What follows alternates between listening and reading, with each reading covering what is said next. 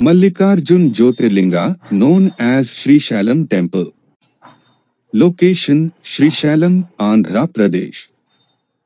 Mallikarjun Jyotirlinga in Srisailam in Andhra Pradesh is known as Kashi of the South. According to the Shiv Puran, the Mallikarjun Jyotirlinga is the united form of both Shiva and Parvati. The word Mallika introduces goddess Parvati, whereas Arjun refers to god Shiv. Located in the Nallamala hill forests along the banks of the Krishna river, this temple is one of the most popular Jyotirlingas in India among 12.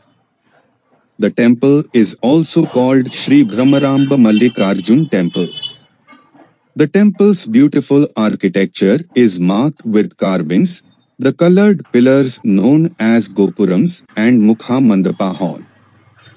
One time, Shiva and Parvati could not decide which son to marry first, Ganesh or Kartikeya. To solve this, they asked their sons to go around the world, and whosoever came first will be married to Riddhi and Siddhi. While Kartikeya went to take the round around the world, Ganesha started encircling Parvati and Ganesha as they were his world for him. This gesture was loved by both Lord Shiva and Parvati, and they decided to marry Ganesha first.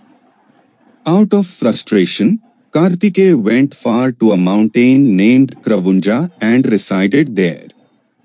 Knowing this, Shiva and Parvati decided to pay a visit to their son Kartikeya and Jyotirlings came into existence as the spot where they met Kartikeya.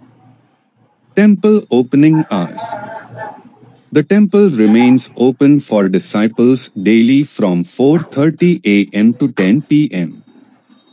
How to reach Mallikarjun Jyotirlinga The nearest railway station to Somnath is Markapur Road, which is about 84 kilometers away from the temple. On arrival, you can hire a taxi to reach the temple. The nearest airport is Rajiv Gandhi International Airport, which is about 200 kilometers away from the temple. You can hire a taxi at the airport to reach the temple.